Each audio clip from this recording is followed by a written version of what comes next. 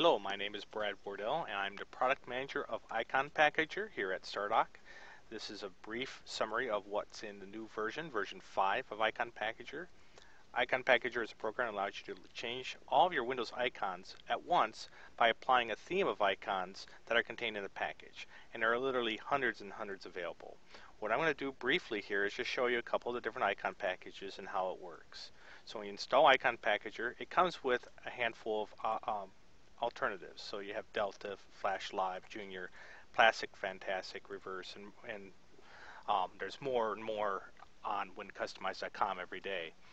The uh, we'd include more, but the icon packages get pretty big.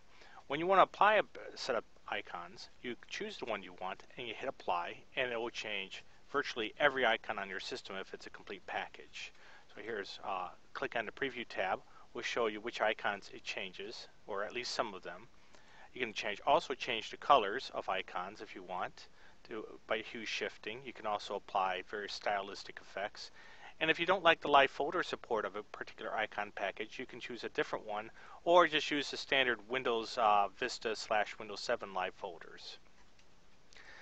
If you want to make your own icon package, you can literally go in and find the icon package you want, or I'm sorry, the icon you want, and change it. Or you can go into the package builder and uh, change massive numbers of icons at once, which makes it very easy if you're really into this. But for most people, you probably just want to change a handful of icons like your, uh, you know, your start one or your personal folder one and that kind of thing.